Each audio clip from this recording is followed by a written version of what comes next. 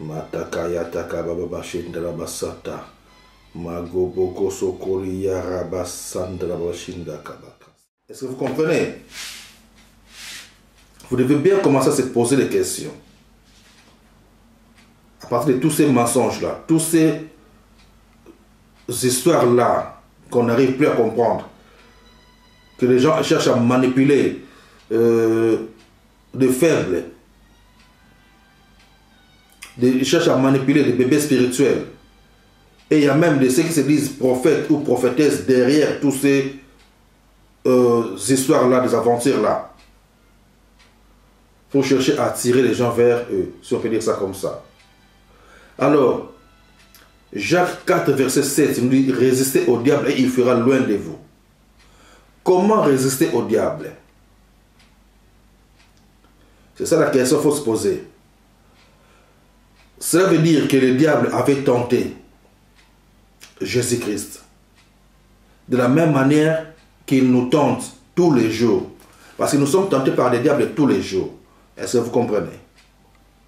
Et c'est de cette manière-là que notre maître aussi a été tenté. C'est dans nos pensées que ça se passe, toutes ces choses-là. C'est comme tu m'écoutes là. À chaque instant, tu es tenté par l'ennemi. Il te pousse à faire des choses qui ne glorifiera pas Dieu. C'est ça cette tentation-là. Et tu te poses des questions, ça veut dire que tu te bats avec l'ennemi dans tes pensées.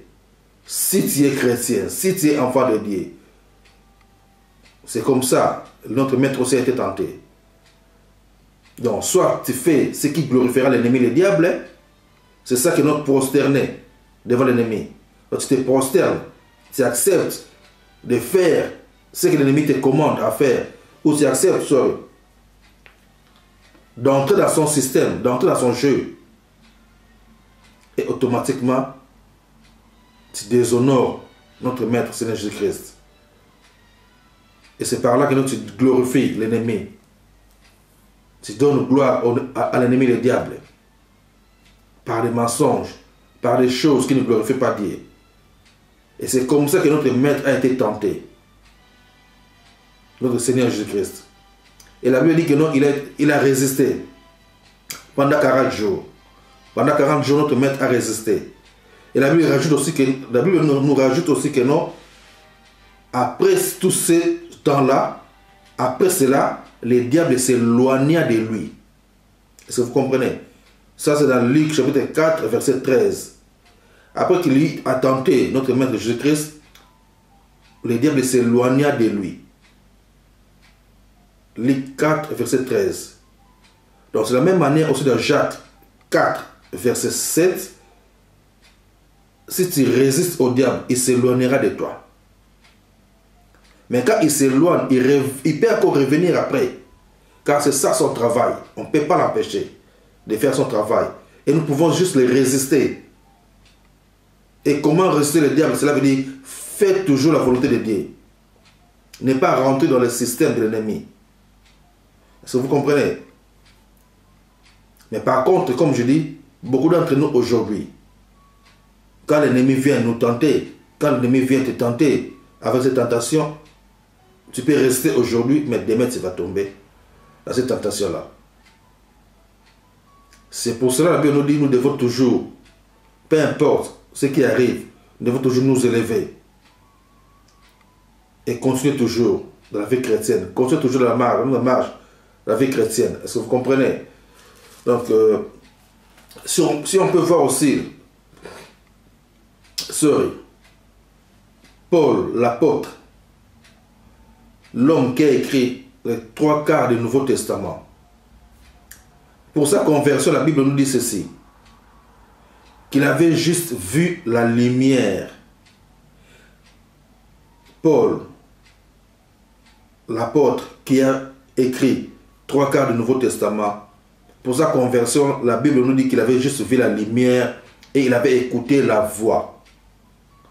Une voix qui lui parlait, qui lui a parlé. Saul, Saul, pourquoi me persécutes-tu Donc il a juste vu une lumière et dans cette lumière-là, il a, entendu une voix qui lui parlait. C'est dans Actes chapitre 9, verset, à partir du verset 3 au verset 7. Actes des Apôtres, chapitre 9, à partir du verset 3 au verset 7. Paul, il avait écouté juste la voix. Est-ce que vous comprenez? C'est pour ça que vous devez arrêter avec tous ces vidéos de mensonges.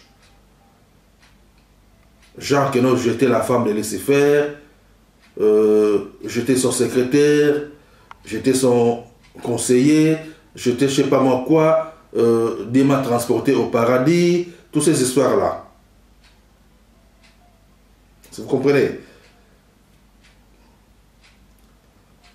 Si nous pouvons lire aussi vite dans des Corinthiens,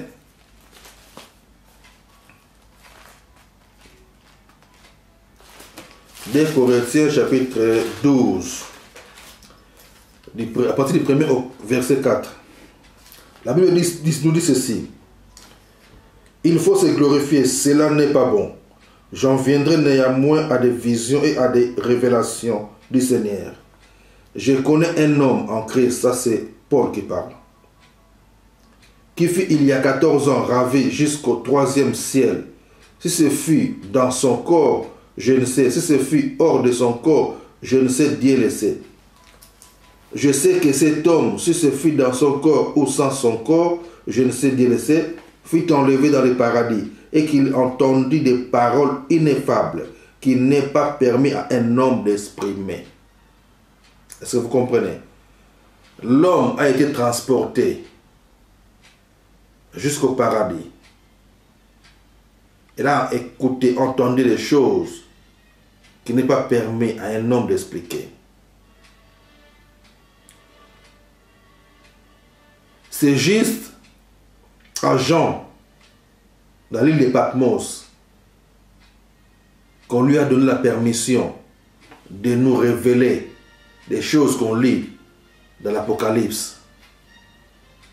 Alors, tous ceux qui viennent vous dire qu'il a été au paradis, il a vu ceci, on lui a dit cela, il a été en enfer, il a vu des gens souffrir euh, dans les feux, tout ça.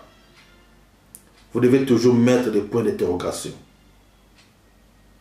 Ne pas croire à tout ce qu'on vous dise. Vous devez étudier la parole. Ici, Paul nous dit qu'il connaît un homme qui fut enlevé jusqu'au paradis et qu'il a entendu des paroles ineffables qu'il n'est pas permis à un homme d'exprimer.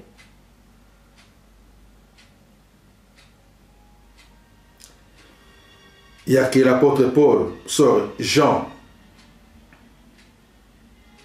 dans l'île de Patmos qui a eu la permission de nous révéler ce qu'il a vu. Dans des visions que Dieu a transportées. Et il nous a révélé des choses qu'on lit dans l'Apocalypse. Vous comprenez? Donc, quand on nous dit que je vais dire, euh, je vais laisser faire, vous devez toujours faire attention. Car beaucoup de gens aujourd'hui ont l'habitude de se référer à un homme. Ce que je veux dire par là, beaucoup de gens aujourd'hui ont l'habitude de se référer à un acteur de cinéma.